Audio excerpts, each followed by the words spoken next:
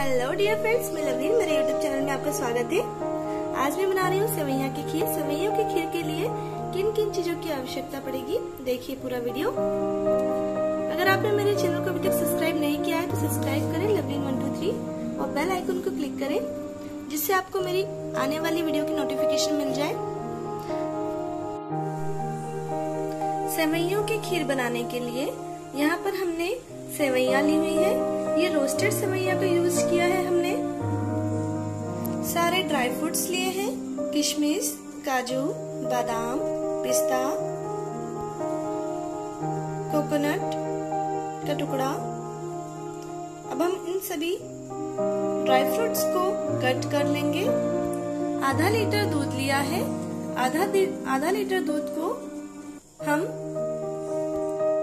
पकाएँगे और इसे तब तक पकाना है तक कि ये एक पाव ना रह जाए। सारे ड्राई फ्रूट्स कट कर लिए हैं। कढ़ाई में दो चम्मच घी डालेंगे और इसमें हम सारे ड्राई फ्रूट्स को रोस्ट करेंगे और सेवैया को भी रोस्ट करेंगे। आपको मेरे वीडियोस कैसे लगते हैं, मुझे कमेंट में बताएँ। यहाँ पर हम सभी ड्राई फ्रूट्स को एक साथ डाल करके रोस्ट करेंगे। जब हम ड्राई फ्रूट्स को रो, रोस्ट कर लेते हैं तो इससे बहुत अच्छा फ्लेवर आता है खीर में।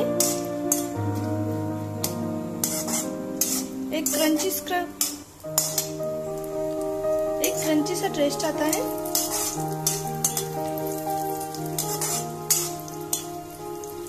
इसे हल्का ब्राउन होने तक हम फ्राई करेंगे।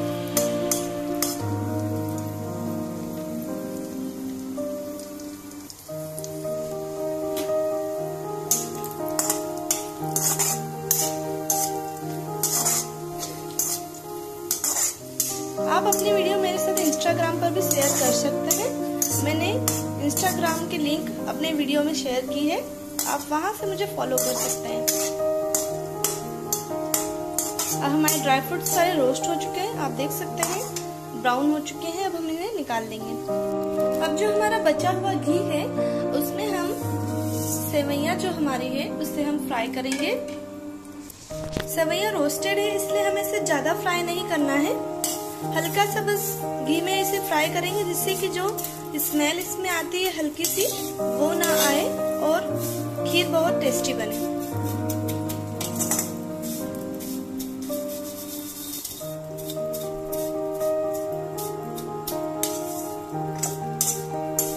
मेरे चैनल को सब्सक्राइब करना ना भूलें।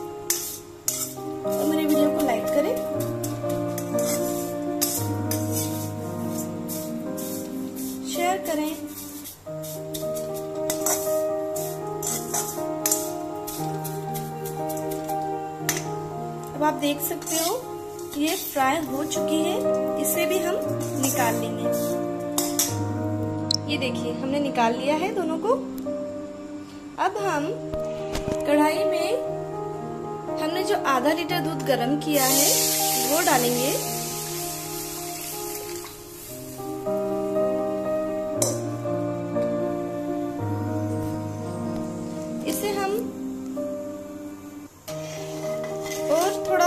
पकाएँगे जिससे कि और ये थोड़ा सा अच्छे से गाढ़ा हो जाए। इसे गाढ़ा होने तक हमें पकाना है। जब तक दूध पक रहा है, दूध के साथ ही हम इसमें चीनी भी डाल देंगे, ताकि चीनी भी अच्छे से पक जाए दूध के साथ। ये हमने आधी कटोरी, ये हमने कटोरी छोटी ली है। आप ये ध्यान देना कि कटोरी आपको छोटी लेनी है। आधी कटोरी हमने शक्कर ली है। और चम्मच से बताऊँ तो हमने पाँच से छह चम्मच शक्कर ली है। अगर आप ज़्यादा मीठा खाते हैं तो आप ज़्यादा चम्मच शक्कर भी ले सकते हैं, पर मैंने मीडियम ली है।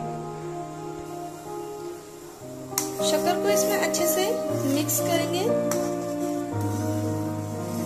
दूध गाढ़ा हो जाने पर हम इसमें सेवैया और सारे ड्राई फ्रूट्स ऐड करेंगे। दूध हमारा लगभग आधा होने पे आया है। अब हम इसमें सेवैया और ड्राई फ्रूट्स दोनों ऐड करेंगे। दोनों को ऐड करने के बाद अच्छे से मिक्स करना है।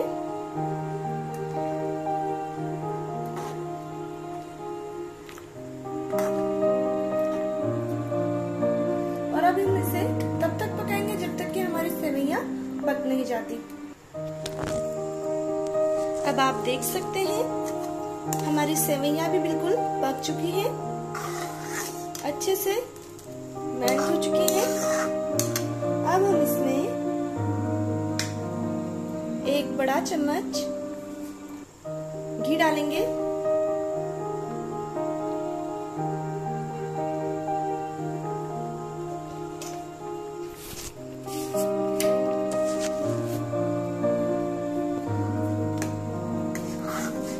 और इसमें हम घी को मिक्स कर देंगे। घी से इसका टेस्ट बहुत ही टेस्टी आता है। आप ज़रूर ट्राई करें ये ट्रिक और गैस बंद कर देंगे। सेवैया की खीर बनके तैयार हो चुकी है। Thank you friends like and share my video